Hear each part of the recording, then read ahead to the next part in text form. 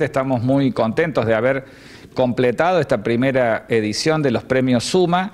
eh, que es un premio que instituimos en la facultad para destacar trayectorias de nuestros graduados y de nuestras graduadas por sus contribuciones, sus impactos en el entorno en el que se desempeñan, digamos. Así que anoche concretamos con los, cuatro, los premios en las cuatro categorías pero por supuesto destacando las trayectorias de todas las personas que integraron esas ternas. Este, y además, eh, contentos porque el proceso del premio Suma implicó eh, convocar a la participación de nuestra comunidad de graduados y la comunidad de la facultad en general, porque las postulaciones, originalmente, más de 80 en las cuatro categorías, eh, surgieron de los propios graduados y graduadas de la comunidad. Después un jurado hizo una selección de ternas y sobre esas ternas también la comunidad votó, además del voto del jurado, se, combinaba esa, votación y así, bueno, fueron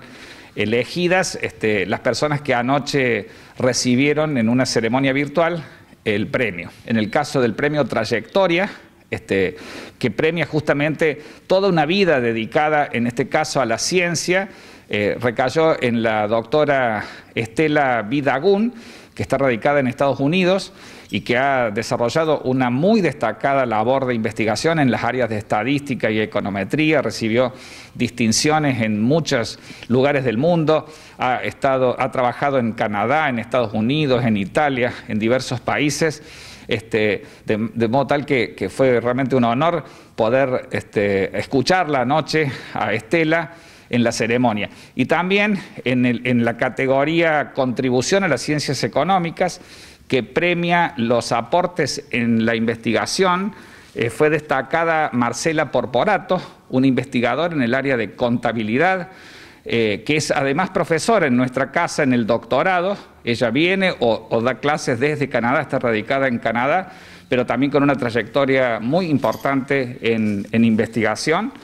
Bueno, y después los otros dos premiados fueron Marcelo Bechara, este, que es fundador de una empresa de contact center eh, con un modelo de gestión muy innovador que tiene una gran cantidad de empleos eh, con equidad de género, ha desarrollado un modelo de gestión muy innovador de mucho impacto, él fue el premiado en esa categoría. Y